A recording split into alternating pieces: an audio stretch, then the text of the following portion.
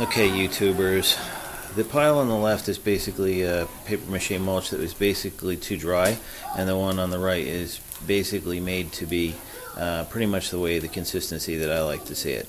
These will burn, but uh, what happens with these, if they're too dry, they just are softer and they're not uh, formable as much because they're not wet enough. So you see that the, the stringy bits are still all on here.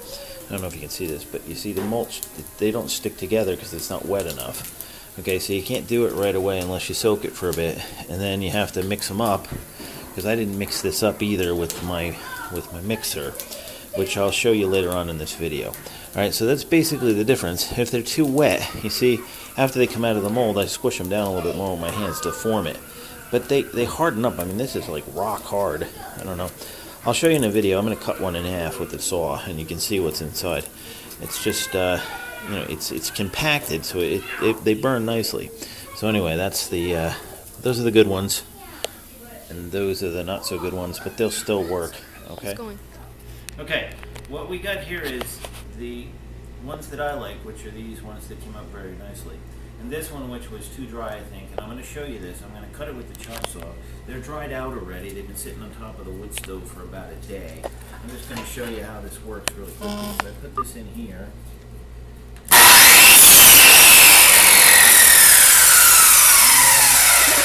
We'll do this one.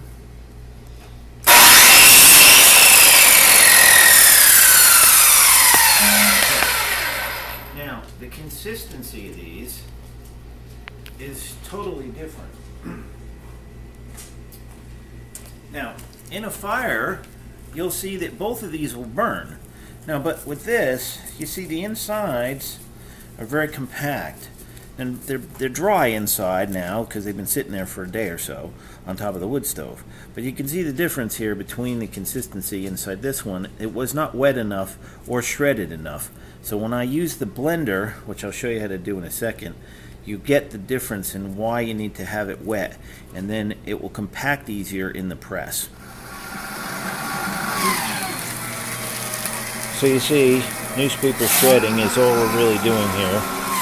And you can see the kids just help out by putting the papers in the shredder.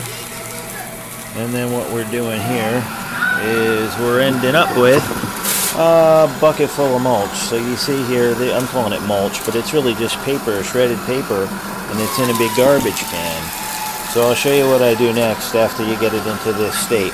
See, so it's just really just this paper, shredded paper stuff. It's pretty simple.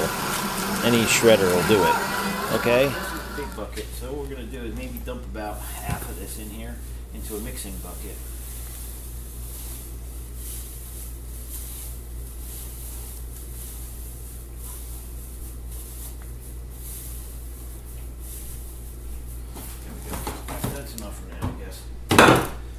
Do is bring this into the bathroom, which I'm lucky enough to have a bathroom off my garage. And I just come over here. I turn this on.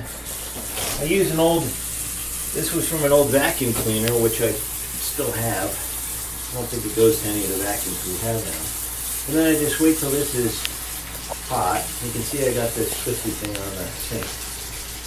So all I do, basically, that on there. And then I can put the hot water into the, the mulch or the paper shredding. So you see I can just keep dumping the water in there until I get a pretty good consistency. And you're just going to keep sitting there and twisting it. I mean, you, you can do this with a hose, you can do it with anything else. Just happen to have the setup I've got, so that's what I'm using. So anyway, just keep doing this until you get pretty, pretty good mulch. You can see it's getting wetter and wetter and wetter. Now, all right, when I turn that off, you just sit here and check to make sure it gets, it gets wet enough.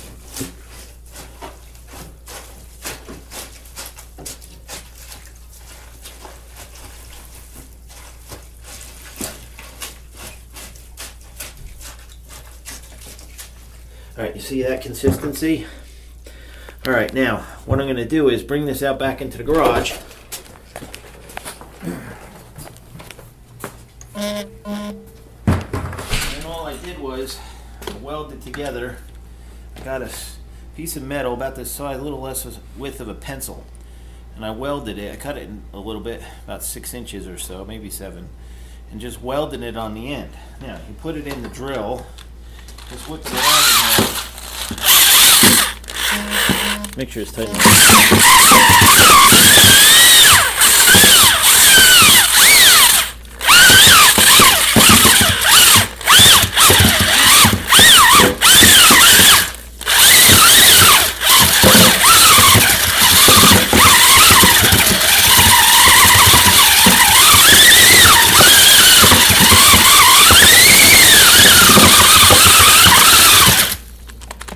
All right. Now, let me bring it bring a bit up here. Make sure that doesn't fall. Now, you can see the consistency of this. All right, it's wet, it's goopy, it's moldable, so you can form it into whatever you want. Okay, so that's key to to getting a good briquette, I think. So now, once you get it all in there, then you can start making briquettes. Okay. Here's the mold from yesterday. So I still haven't. No, I gotta still put another piston in there. But you've already seen me use the the press. Okay.